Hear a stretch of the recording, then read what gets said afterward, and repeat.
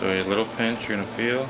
Botox is the number one cosmetic treatment used to erase facial wrinkles. Lisa Revel is having it done again today. And I've never had any uh, adverse reactions to the Botox. She admits reports of getting botulism poisoning from the toxin after injections is cause for concern.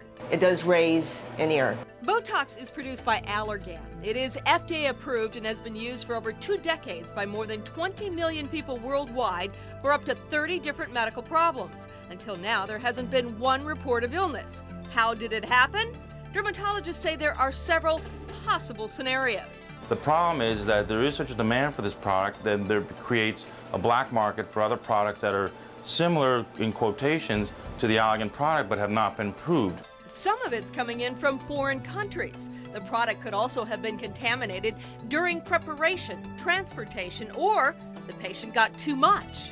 We don't really know what product was being used in this facility. Dr. Zaiac says you can protect yourself.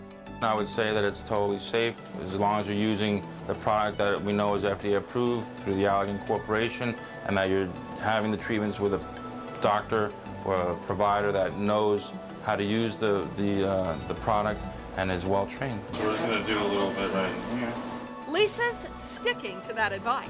It really helps you look great. It makes you look refreshed. It makes you look younger. Anything that's going to make me feel good, I'm going to keep doing it.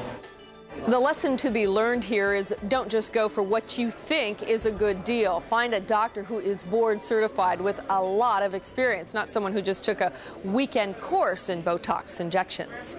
In the Plex, I'm Marilyn Mitzel, 7 News.